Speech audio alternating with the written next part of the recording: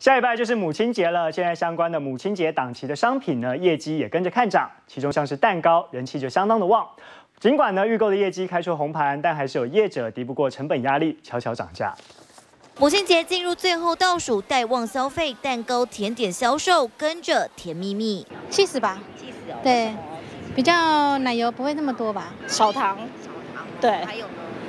还有就是比较健康取向，草莓裹上糖衣，可口透亮，气死基底填满莓果内馅，或是自由配乳酪巧克力苹果派都能搭。以连锁咖啡店来看，去年卖出二十万个，今年上看三十万，成长八趴到十趴，预估业绩突破一点二亿。一方面是追求健康，但是对于美食的这个口欲还是非常要顾，所以我们就是精巧的蛋糕会越受到欢迎。那我们预计整体的部分到母亲节应该也会跟去年比。有大概两成的成长，预购业绩挡不住开出红盘，但也有业者顶不住悄悄涨价，因为原物料上涨，像是坚果类贵了一成五到三成，奶油也涨了一成五到两成。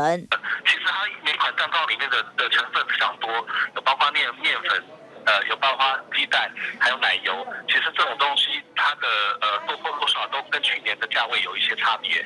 就这样啊，涨价就涨价啊，不然怎么办？物价连连寒涨，即使价格小波动上扬，消费者也是很敏感。但预估在母亲节前夕，销售有望再冲上高峰。UDN TV 李跳李轩台北报道。